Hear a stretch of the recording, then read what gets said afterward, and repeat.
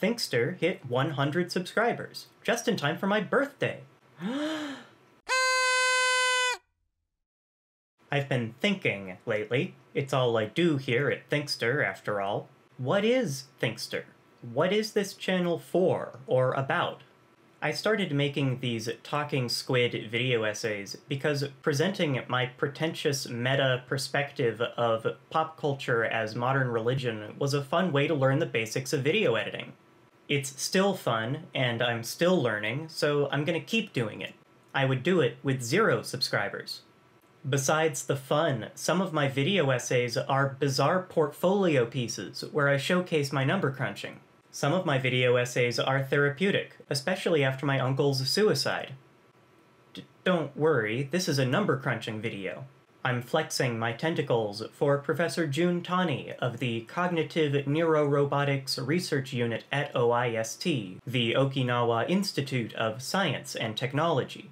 But before I begin, I just wanted to mention that Dr. Andrew R. Gallimore, author of Alien Information Theory, got his PhD at OIST and works in the Computational Neuroscience Unit.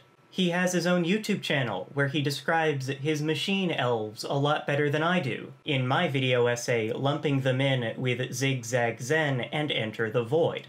This doesn't make me want DMT injected intravenously continuously by a high-tech programmable infusion device, but it does make me want to intern at OIST. If I'm building a robot which says something about consciousness, I want to know what the machine elves are up to down the hall.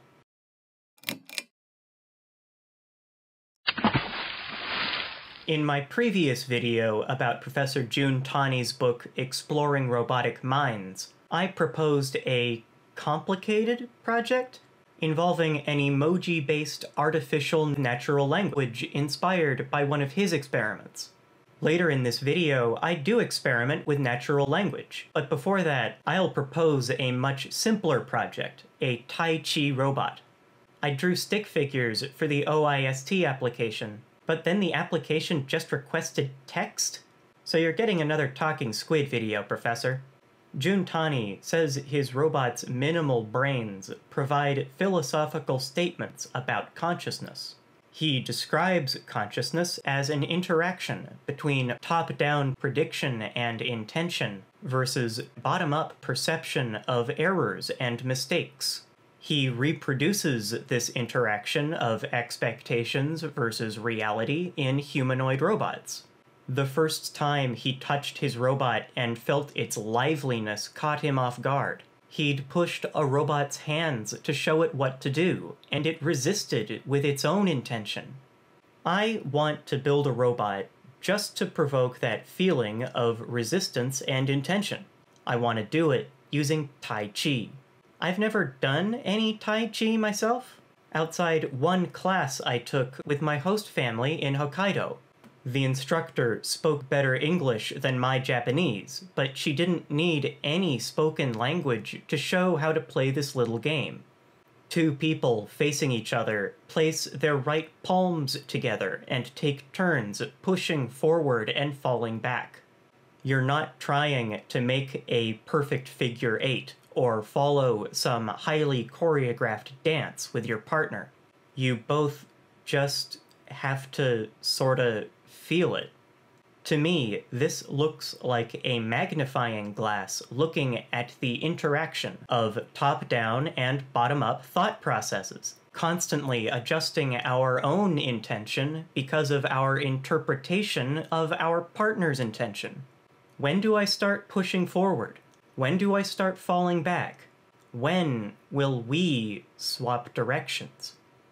I don't think I could make Robo Tai Chi instructors, but I bet I could make two little wheeled robots which play this game with humans, or with each other. I'm so sure of myself because I've started already. I've never built a robot before, but my friend has. He's the guy to talk to about robots and drones and 3D printing. With his help, I rigged up this little Raspberry Pi computer to control the wheels of an honest to goodness robot. Then I found a Python script which detects a hand in a webcam's live video and guesses the hand's distance from the camera. With these parts lined up, I've got a robot which rolls forward when it sees a hand far away, and rolls back when it sees a hand too close.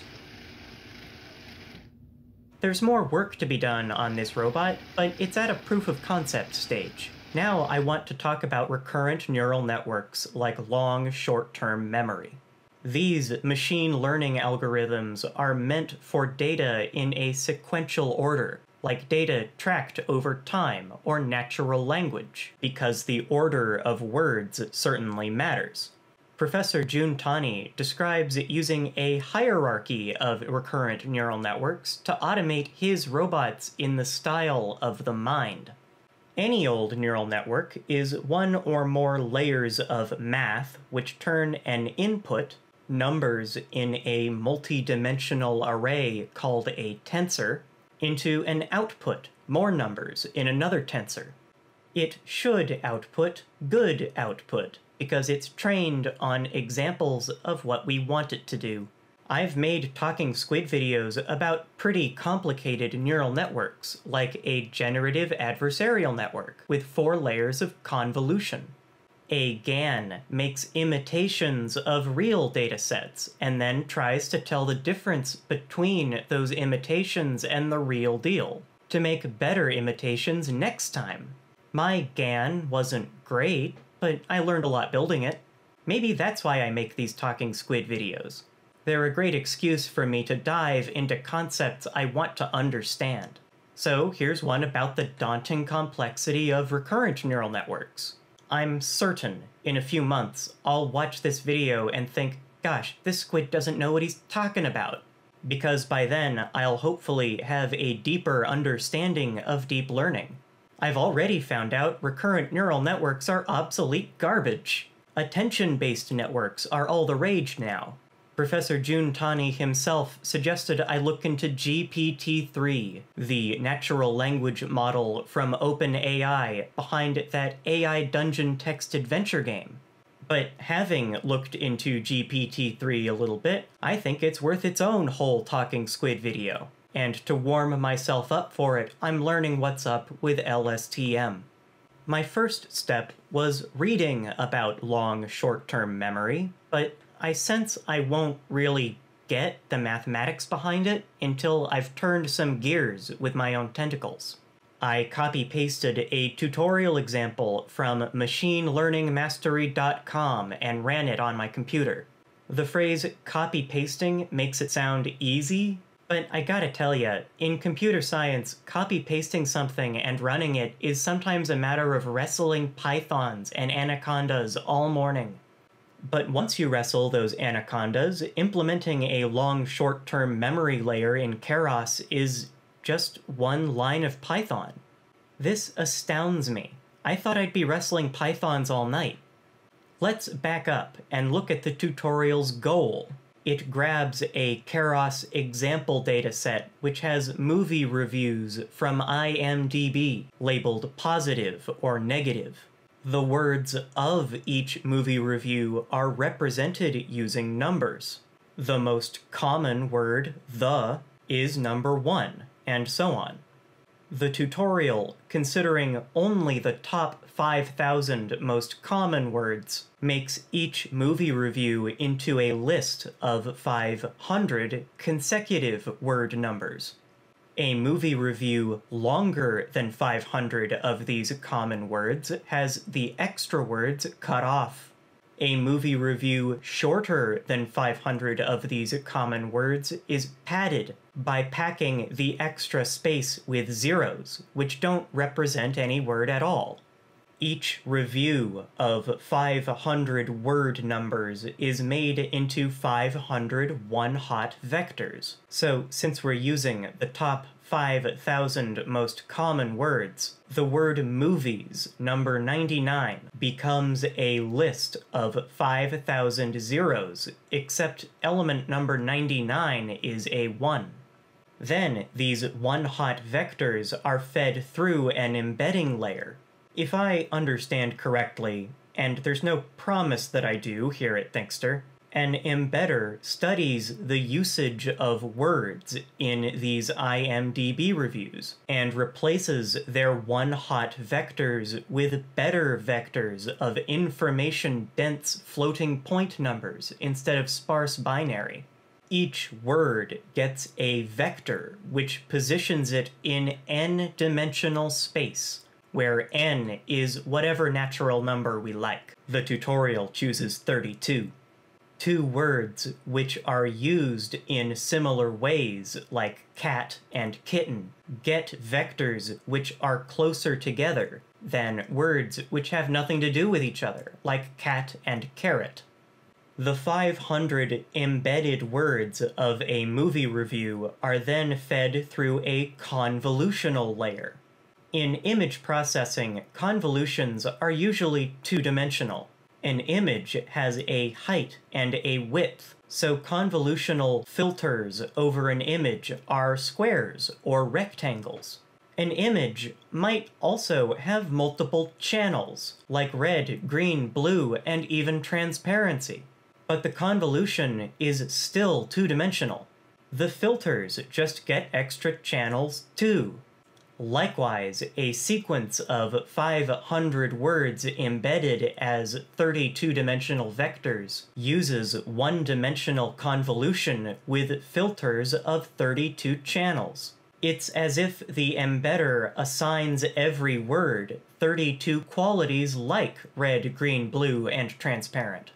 The filter's size of 3 means convolution considers the 500 words three words at a time. That ought to help fix typical natural language issues like negations. If someone says a movie is good, the review is probably positive. But if someone says a movie is not good, the review is probably negative. The convolution leads to a max pooling layer, which speeds things up by discarding the least helpful information. The max pooling leads to a long short-term memory layer. There it is, one line of Python, 20 characters. The LSTM leads to a dense layer with just one neuron, which the tutorial trains to output 0 if an IMDb review is negative, or 1 if an IMDb review is positive. It's almost 90% accurate in testing. That's pretty cool, but I always gotta go way too complicated here at Thinkstr. I find aiming high gives me a bird's eye view of what I'm looking at, even if I land far off target. I downloaded the classic dataset of IMDb reviews directly from Kaggle, so I can embed the text myself. Other groups have already made their own word-to-vec algorithms, so I borrowed one from Google.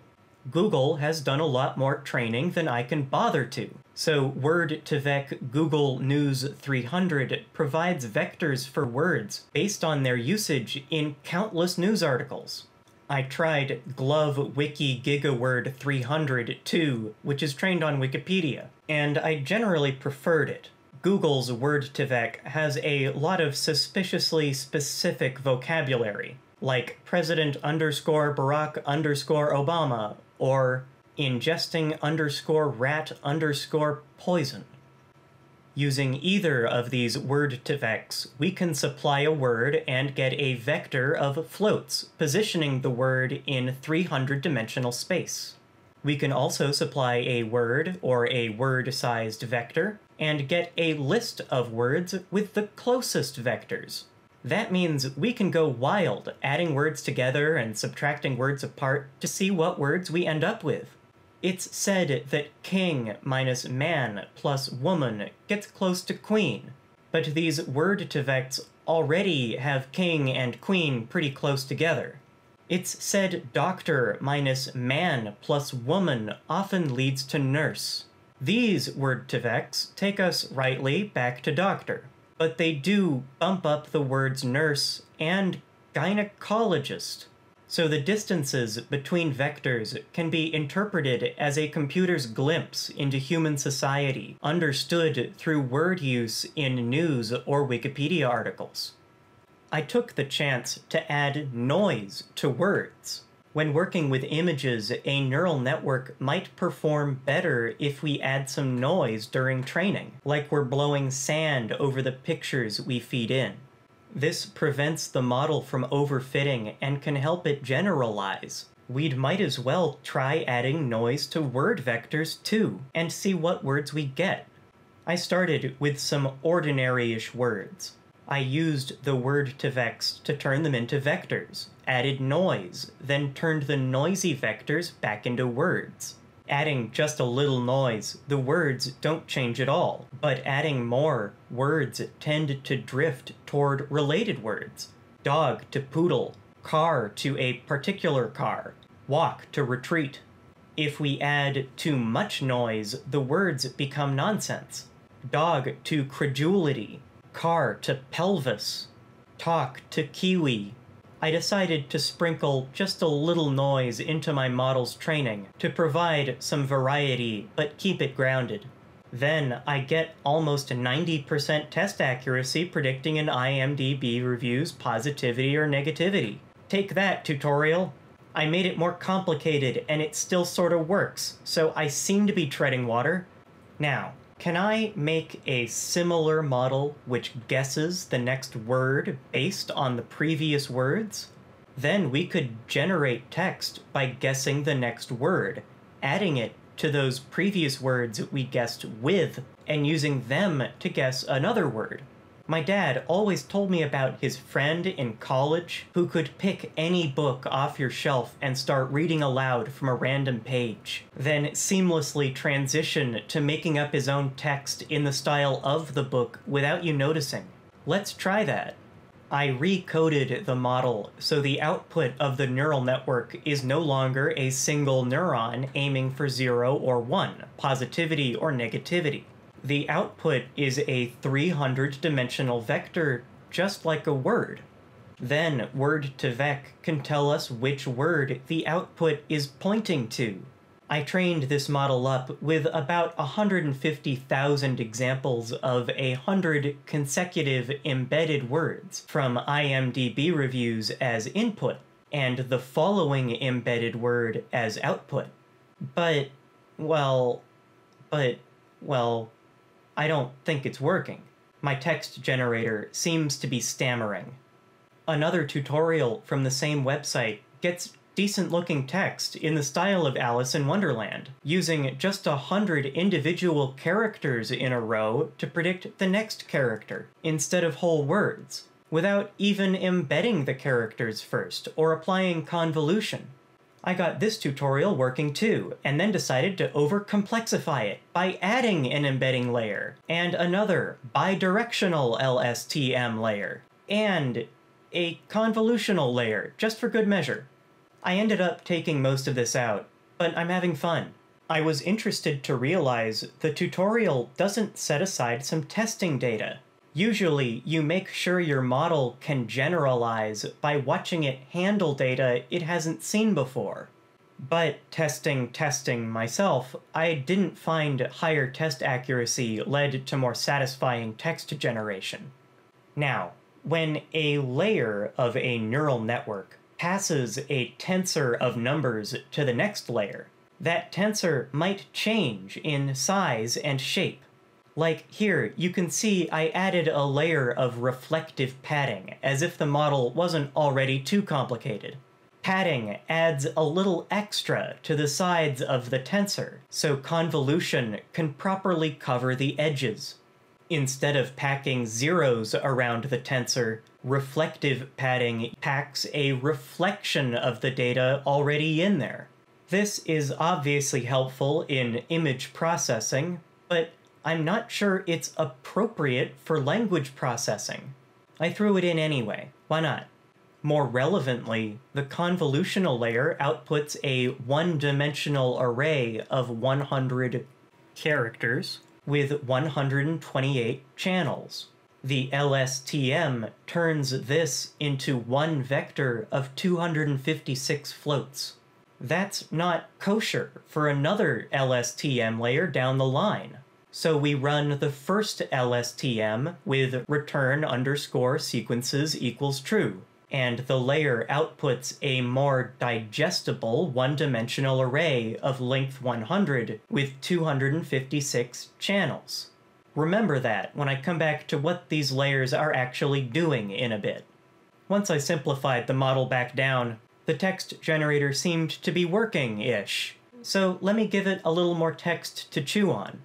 At over 40 million characters, the King James Bible is almost 30 times longer than Alice in Wonderland. Oh, neural network, give me a new Bible passage starting with this 100 character squid poem I wrote. A squid, a squid, a squiddy, oh! My kingdom for a squid! What would we do without a cephalopod for call the people of the Lord? One colon colon one, and the Lord said unto Moses, She Lord of Israel shall be ow the Lord's house. And the Lord shy God hath see the people, O the Lord thy God, and the Lord shy God hath see unto thee. Hmm. I'm still not happy with its repetitiveness. I'd compare it to a model collapse in a GAN. But now I'm feeling prepared to read up on long short-term memory networks, and maybe even know what I'm talking about. Let's open that article from towardsdatascience.com again. I said earlier, a regular rolled neural network turns an input into an output. That's a feed-forward network. A recurrent neural network has a feedback layer, which handles the input it gets one piece at a time. It handles each piece of the input alongside its own output from the previous piece of the input as a sort of rolling memory until the last piece of the input finally leads to a final output. It's helpful to unroll a recurrent layer so we can see it'll be performing the same actions again and again with each subsequent piece of its input. However, this leads to a vanishing gradient problem. If a sequence is too long, a model might not even remember what happened at the beginning by the time it gets to the end. A long short-term memory network is supposed to assuage this. LSTM is a particular kind of recurrent neural network, which uses its rolling memory of the previous piece's output to decide what to remember and what to forget for the next time step. Yowza. If you want your model to have two LSTM layers, they'll both need to get a sequence of inputs. So we tell the first LSTM return underscore sequences equals true. And instead of passing along just its final output, the layer passes along all the outputs it made over the sequence of time steps. It's like one LSTM is passing the other LSTM its cumulative notes, not just the final iteration. This is really heady stuff, the sort of stuff I might have to keep poring over until I really understand it. But another article from the same website suggests I might not want to waste my time. It says RNNs and LSTMs are outdated, and the new style is transform and attention-based networks, which can work with images too. Luckily, attention layers are just some anaconda wrestling and a line of Python away.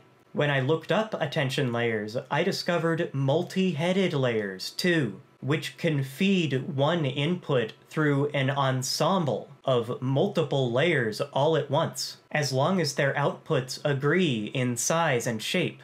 It sounds a little like Professor Jun Tani's multiple timescale recurrent neural network, MTRNN. I trained multi-headed attention on Alice in Wonderland and got a much more satisfying squid poem. This model seems to have a better handle on grammar and punctuation.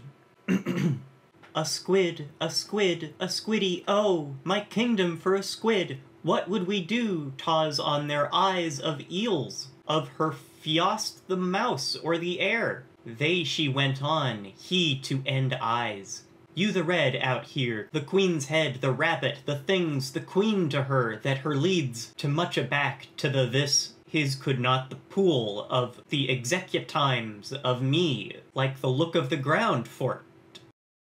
That kinda sounds a little like Lewis Carroll, actually. Thank you for watching a Talking Squid video about robots and neural networks. I think I've rediscovered the reason I make these video essays at all. Overthinking, about thinking, is really its own reward. Down the line, I think I'll make a Talking Squid video about attention-based networks, GPT-3, and maybe even corrections to all my previous videos, like this one. So if that sounds like fun, subscribe. If you have any questions, comments, or insults, leave a comment below, and I may or may not have an answer, reply, or counter insult. Bye-bye.